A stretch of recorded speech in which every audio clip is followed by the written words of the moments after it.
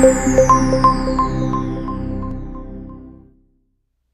guys, today I just want to do a quick video for you, show you how to get Xamarin installed and running on your OS X system so you're developing and debugging apps successfully. Alright, without further ado, let's jump in. Okay guys, so if we're going to be developing iOS apps, then before we even install Xamarin, it's a good idea to install Xcode. So let's go to our App Store, let's search for Xcode, find that, now it turns out I already have Xcode installed. If you don't, go ahead and install it now, and while that happens, you'll go ahead and pause this video. As of the time of this recording, we were at version 7.1, so I've got that installed, so I'm good to go. Once we have Xcode taken care of, or if you're only doing Android development and don't care about Xcode, then the next step is to go over to our Xamarin.com website and find that download link. Once we click that, we're going to be taken to a form where we'll just fill out some information about ourselves and how we're going to be doing development. It's five little form fields, or six, I guess, so really quick to do that. And then we get a link we're going to download. And that download link will give us one of these files right here, a xamarin So let's double click that. And we get a nice big button right there that we'll also double click. This will tell us that we downloaded this from the internet. Are we sure we trust it? Well, we downloaded it from a nice trustworthy site like Xamarin.com, so you bet we trust it. We're going to open that app right up. And now we get our licensing agreement, so yep, I sure do agree. Going to wait while it detects what I have installed. Turns out I don't have anything installed right now, so it wants me to install Xamarin Android, Xamarin iOS, Xamarin Mac. I will go ahead and do Android and iOS, but just to save a little bit of time right now, I'm not going to do Xamarin Mac for the moment. Where am I going to install my Android SDK? Well, the default location looks fine and dandy to me, so continue on. And so now here's what we're actually going to get installed. Let's hit continue and now we're going to start downloading a lot of files. In particular, if we're installing the Android SDK, we're going to have a lot of bits and bytes to download. So we're going to be waiting for quite a while.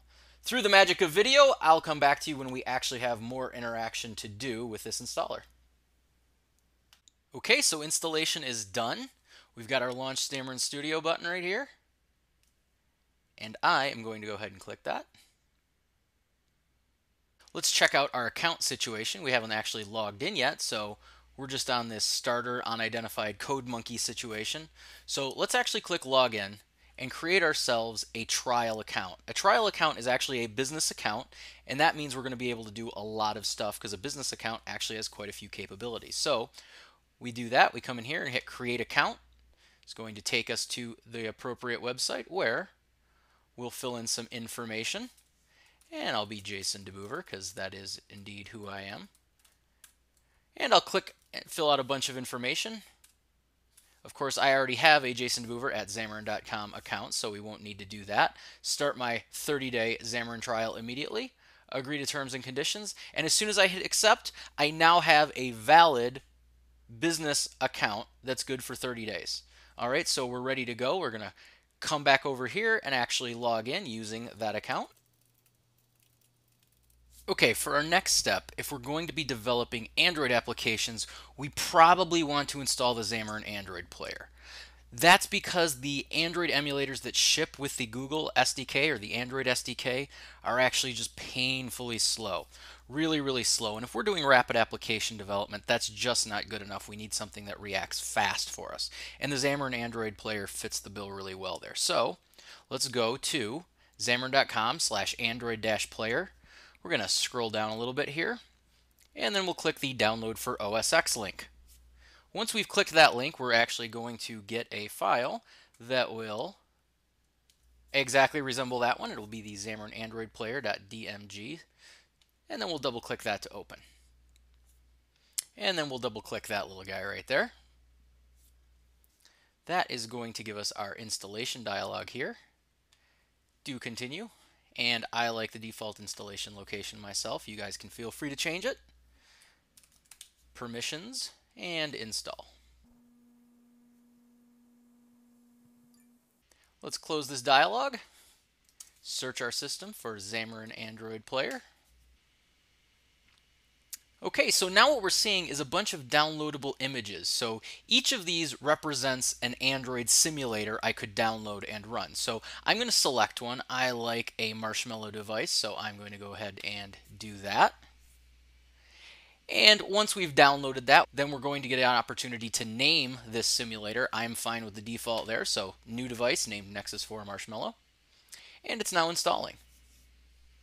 Once it's done installing, it's going to show up right at the top here with a play button. That means all we have to do to get our simulator working is hit the play button now.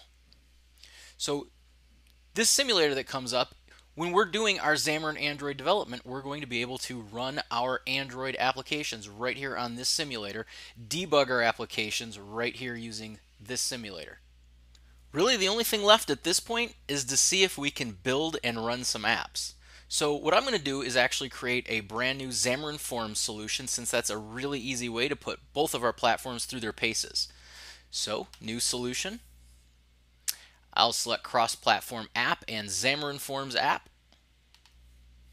And then we'll call this my setup demo. And a PCL looks good.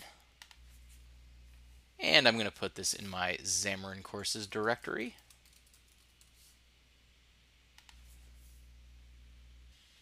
So our default Xamarin Forms template comes with a form with a label on it, as we can see. And just to make things more interesting and make sure that we're actually putting it through its paces, I'm actually going to go ahead and also add a button here.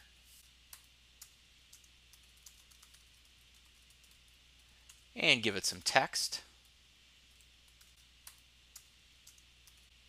And then we'll just add it to our stack here.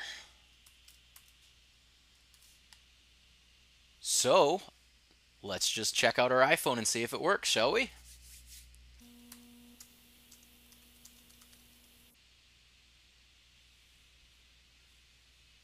I am a button, and it works. Well, one more thing I'd like to do with this is actually add some event handling to that button so we can make sure that works as well. And it also allows us to put in a breakpoint to make sure that our integrated development environment features are also working. So, btn clicked, use our refactors there to automatically create our anonymous method. And here, all I'm going to do is just change the text of the button itself, just so we know it's working.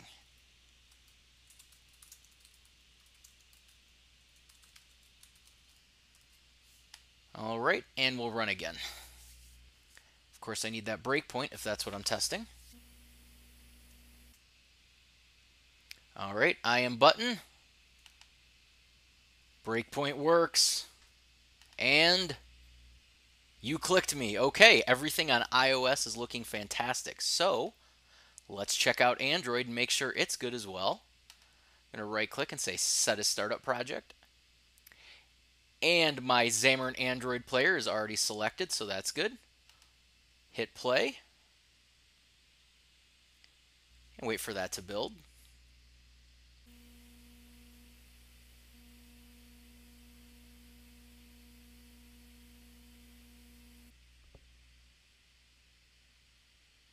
All right, it says I am a button. And when we click it, breakpoint, so far so good. And you clicked me. Okay, Android is working as well. Everything is exactly what we need. Our setup is complete. Okay guys, that's really all there is to it. Hopefully that helped you out, and hopefully we see you in some live Xamarin University classes soon. Thanks a lot.